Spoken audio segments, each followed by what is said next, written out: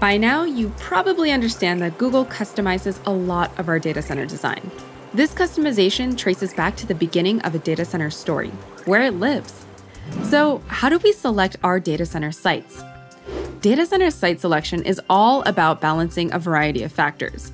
A data center location has to have the right combination of energy infrastructure, proximity to our users, available workforce, and available land.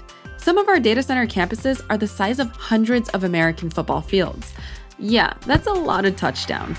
One of the first things to assess is exposure to natural disasters.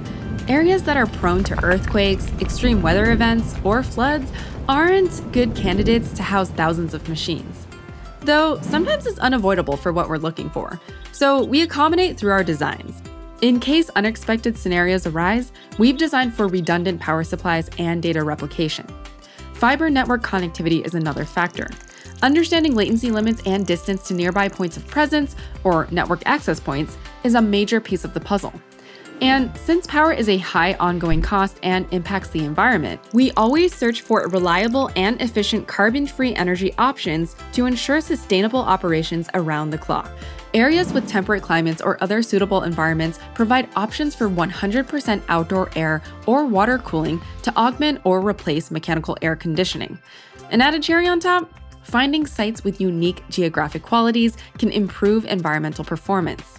For example, our data center in Belgium uses recycled water from a nearby industrial canal to cool its servers, making it more sustainable and the first Google data center to eliminate refrigerated cooling. In Finland, we transformed an old paper mill located next to the Bay of Finland into a data center. The bay's water, sitting at 57 degrees Fahrenheit or 14 degrees Celsius all year round, allows us to use seawater to cool the data center. Our Taiwan data center is one of Asia's most efficient and environmentally friendly.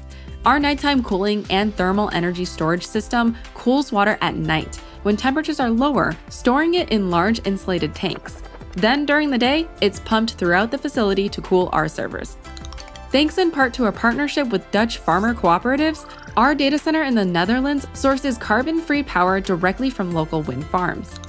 Our data center in Ireland uses an advanced air cooling system that takes advantage of Ireland's temperate weather to keep our servers running smoothly. As a result, the data center can be cooled efficiently with outdoor air instead of air conditioning units. As you can see, there's no one size fits all for Google data centers. Each one is built to adapt to local strengths and thrive. But what does this mean for you at home and our real world applications? Find out next time on Discovering Data Centers.